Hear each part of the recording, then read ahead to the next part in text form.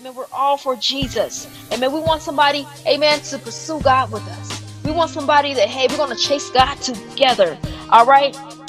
Amen.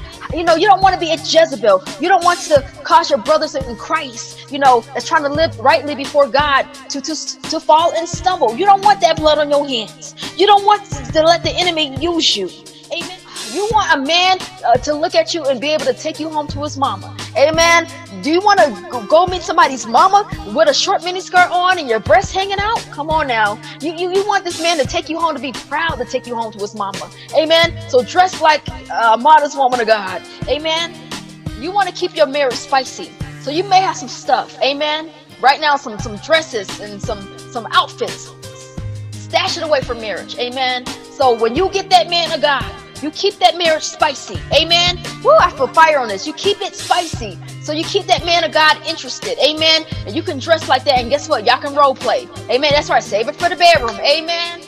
But a lot of women they're they're insecure, and I was insecure, and I, I felt like if I dressed like this, I can get attention from men, but I was getting the wrong attention. Amen. So a lot of women they, they do things to get attention of a man, and you know, God is saying right now you don't have to. Amen. You know, I'll do something. This is real talk. Can I share my testimony? My God. Before, you know, I, I got engaged and you know I was broken, you know, the devil, see he's slick, he always sends the counterfeit before he sends the real deal. So the devil, he sent me this man. Who he he was fine, y'all. Everything I liked in a man just everything just whoo fine and you know. So he was from the devil. He was from the devil.